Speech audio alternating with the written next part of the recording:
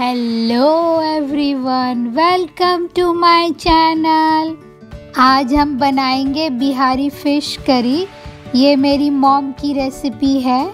इसके लिए हम एक किलो फ़िश लेंगे और उसमें फिर आधा टी स्पून सॉल्ट डालेंगे। उसके बाद हम इसमें आधा टी स्पून हल्दी पाउडर डालेंगे। और फिर इसमें आधा टी स्पून मिर्च पाउडर डालेंगे। अब इन सभी चीज़ों को फ़िश में अच्छी तरह से मिक्स करेंगे और फ़िश को आधे घंटे के लिए मैरिनेट करेंगे।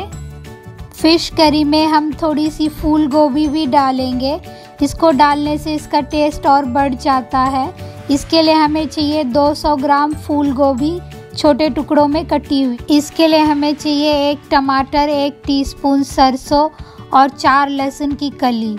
इसके अलावा हमें चाहिए एक टीस्पून धनिया और एक टीस्पून जीरा। अब हम किसी ब्लेंडर में धनिया, जीरा, सरसों और टमाटर को काट कर डालेंगे। फिर हम इसमें लहसुन डालेंगे और उसके बाद आधा टीस्पून हल्दी पाउडर और आधा टीस्पून मिर्च पाउडर डालेंगे और फिर ब्लेंडर में इसका एक स्मूथ पेस्ट बनाएँगे। अगर आपके पास सिलबट्टा है और अगर आप इसको सिलबट्टे में पीस कर बनाएँगे तो इसका टेस्ट और भी ज़्यादा अच्छा आएगा। इन सभी चीज़ों का हमें एक स्मूथ पेस्ट बनाना है।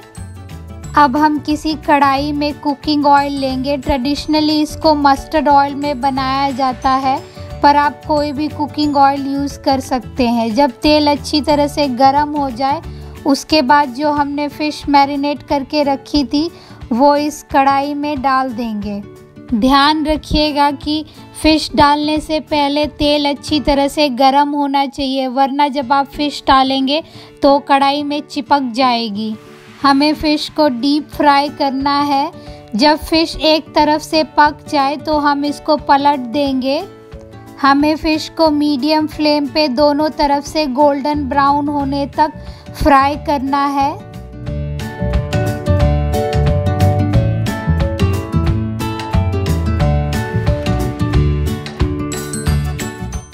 जब फ़िश दोनों तरफ़ से गोल्डन ब्राउन हो जाए, उसके बाद हम इसको किसी प्लेट में निकाल कर साइड में रख लेंगे। इसी तरह हम सारे फ़िश के जो पीस हैं, उनको फ्राई करेंगे। फ़िश फ्राई करने के बाद कढ़ाई में जो तेल बचा है, उसी में हम अपने गोभी के सारे टुकड़ों को डालेंगे। गोभी ऑप्शनल है, अगर आप चाहें तो इसको स्किप भी कर सकते हैं, मगर गोभी डालने से फ़िश करी का टेस्ट और बढ़ जाता है। गोभी को हम गोल्डन ब्राउन होने तक फ्राई करेंगे।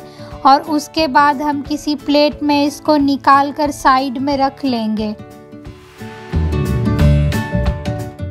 अब हमें फ़िश करी में तड़का लगाने के लिए दो तेज पत्ता और एक टीस्पून पंच फोरन चाहिए। फ़िश और गोभी फ्राई करने के बाद जो ऑयल बचा है, उसी में हम इस तेज पत्ता और पंच फोरन को डालेंगे। उसके बाद जो हमने ब्लेंडर में पेस्ट बनाकर रखा था उसको कढ़ाई में डालेंगे और सभी चीज़ों को एक बार अच्छी तरह से स्टर करेंगे। अब हम इसमें अपने स्वादानुसार नमक डालेंगे और इसको एक बार अच्छी तरह से मिक्स करेंगे। अब इस मसाले को हमें मीडियम फ्लेम पे पकाना है और हम बीच बीच में इसको स्टर करते रहेंगे। अब हमें इसको तब तक पकाना है जब तक कि जो तेल है वो मसाले से अलग ना दिखाई देने लगे। उसके बाद हम इसमें एक चौथाई कप पानी डालेंगे और उसको मिक्स करेंगे। इसको अब हम एक मिनट और पकाएँगे। उसके बाद जो हमने गोभी के पीस फ्राई करके रखे थे, वो इसमें डालेंगे और सभी चीज़ों को अच्छी तरह से स्टर करेंगे। उसके बाद हम इस गोभी को इस मसाले में दो मिनट तक मीडियम हीट पर पकाएँगे। गोभी को दो मिनट इस मसाले में पकाने के बाद इसमें हम 500 सौ पानी डालेंगे और सभी चीज़ों को एक बार अच्छी तरह से मिक्स करेंगे। अब हम इसको तब तक पकाएँगे जब तक कि ग्रेवी में एक उबाल ना आ जाए। जब ग्रेवी अच्छी तरह से बॉईल हो जाए उसके बाद हमने जो फ़िश के पीस फ्राई करके रखे थे, वो इस ग्रेवी में डाल देंगे।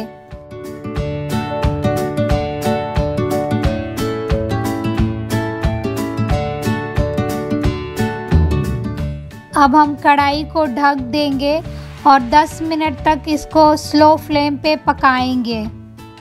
10 मिनट बाद हम ढक्कन हटाएँगे और कटी हुई धनिया पत्ता इसके अंदर डालेंगे और सभी चीज़ों को एक बार स्टर करेंगे।